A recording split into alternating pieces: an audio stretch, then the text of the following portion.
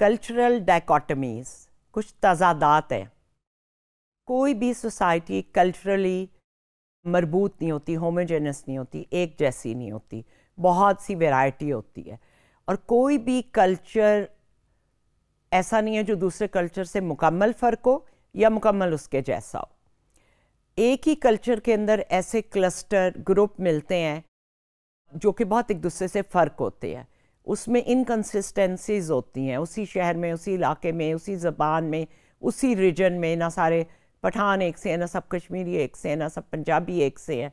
और डिसमिलैरिटीज़ भी होती हैं, वो एक दूसरे से मुख्तलिफ़ है और कुछ चीज़ें उनमें कॉमन होती हैं।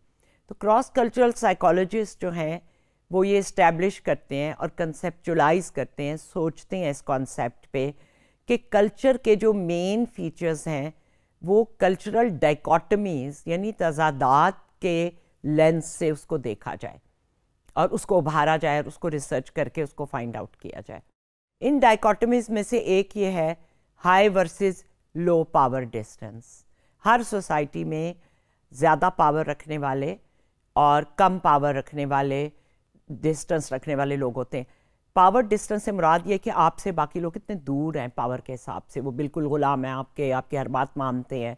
आपसे ऊपर कितने लोग हैं? High versus low uncertainty avoidance यानी जो चीज़ें यकीनी ना होना, उनको अवॉइड करना, उनसे घबराना। कुछ कल्चर उससे ज़्यादा घबराते हैं। मैंने अंग्रेज़ों में ये चीज़ देखी है। उनको हर बात श्योर चाहिए प्रडिक्टेबल चाहिए। They want clear are you going to do this on that day so how much is going to be the cost of this thing हम गोलमोल करते हैं तो वो गोलमोल से उन्हें बड़ी मसला है। और पाकिस्तानी जो हैं, इतने बहादुर हैं, इतने रिजिलियंट हैं इनोवेटिव हैं कि अगर नहीं भी पता हो कि क्या होना है, हम टॉलरेट कर लेते हैं उस चीज़ को। कुछ हमारी ज़िंदियाँ हैं भी अनप्रडिक्टेबल पाकिस्तान में।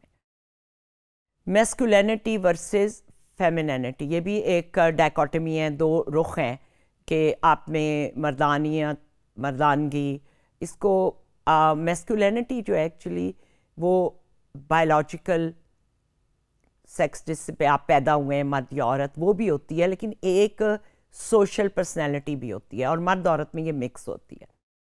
फिर कलेक्टिविज़म वर्सेस इंडिविजुअलिज्म हम पहले भी बात कर चुके हैं कि ये जो एक डायकोटमी है, दो रुख हैं चीज़ के या दो सिरे हैं लोग उसके बीच में भी हो सकते हैं ज़रूरी नहीं कि मुकम्मल तौर पे इंडिपेंडेंट हो या मुकम्मल तौर पे इंटरडिपेंडेंट हो कि बिल्कुल इंडिविजुअलिज्म पे अपनी चॉइस करें I believe that if you are raised with freedom like I was I had lot of individual choices and trends and decisions and I've, nobody's taught me ever.